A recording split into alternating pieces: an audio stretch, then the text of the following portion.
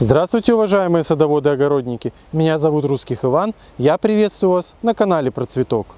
Сегодня мы поговорим с вами о подготовке почвы для рассады.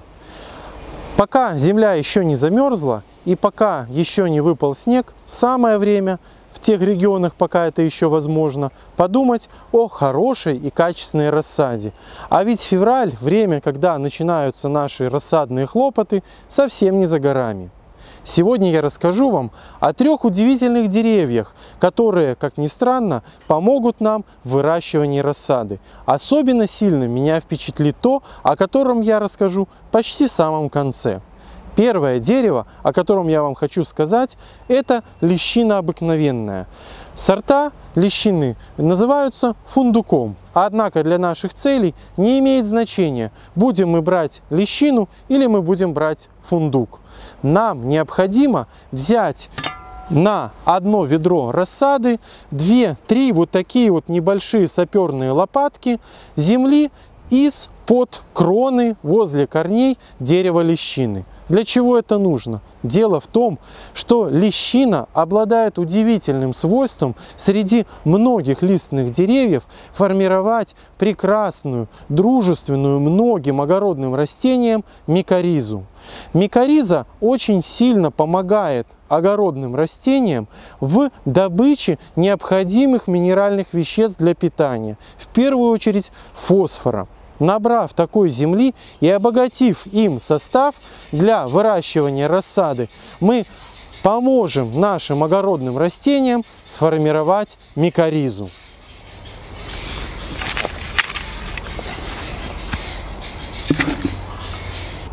Второе замечательное растение, дерево, из-под которого нам очень хорошо набрать небольшое количество земли, это ольха.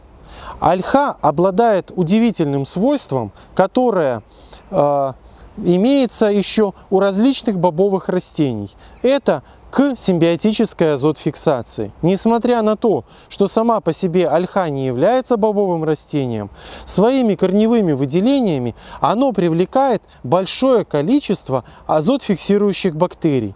При этом эти азотфиксирующие бактерии относятся к совершенно другим бактериям, нежели те, которые являются свободно живущими азотфиксаторами типа азотобактера или строго симбиотическими азотфиксаторами, какими являются азотфиксирующие бактерии клубеньков бобовых растений.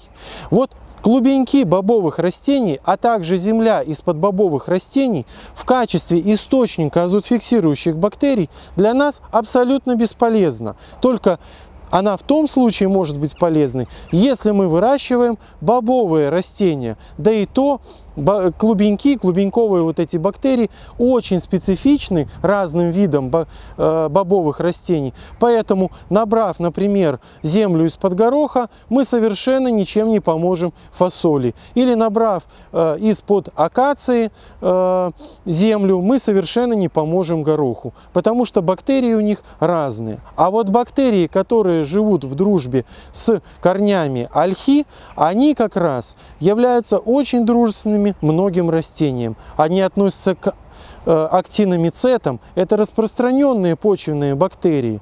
И они хорошо приживаются в почве, хорошо там размножаются, но только при условии достаточного органического питания.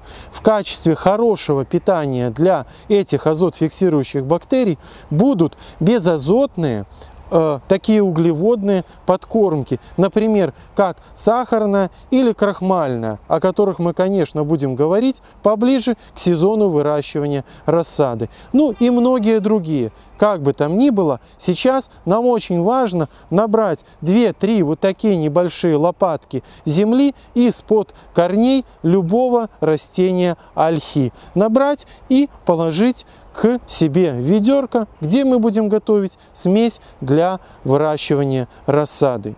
Идемте дальше. Третьим и, пожалуй, для меня самым удивительным помощником в деле выращивания рассады является осина.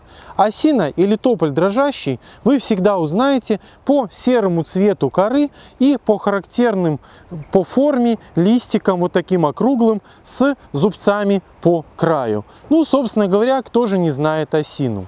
Для, для того, чтобы использовать осину для рассады, нам понадобится не столько листовой опад и перепревшая листовая земля из-под корней осины, хотя и они очень хороши как для укрытия наших грядок, так и для закладки в лунки для выращивания растений. Но нам больше понадобятся молодые веточки. Молодые веточки, вот примерно вот такой вот пучок на одно ведро земли для рассады, необходимо мелко покрошить, мелко порезать, чем мельче, тем лучше, порезать в наше ведро, наполнить его и как следует перемешать мешать.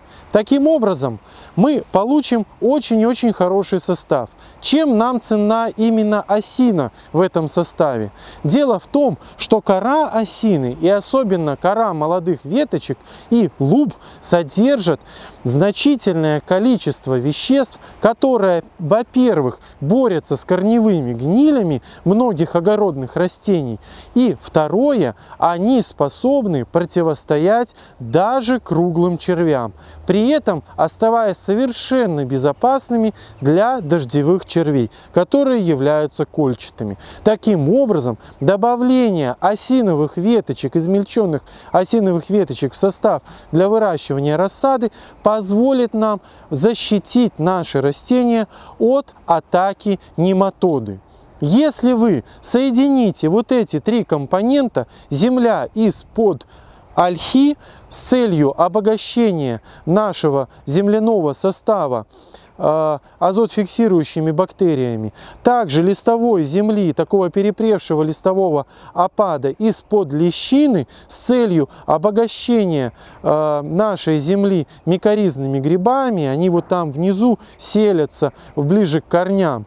И кусочками веточек осины, мелко нарезанными, вы получите самый-самый лучший живой грунт для выращивания рассады. Причем это еще не сам грунт, а только заправка для грунта, которая по своим свойствам переплюнет любые сияния, любые байкалы и любые почвоулучшители, которые вам предлагают производители в магазине. Как видите, совершенно бесплатно.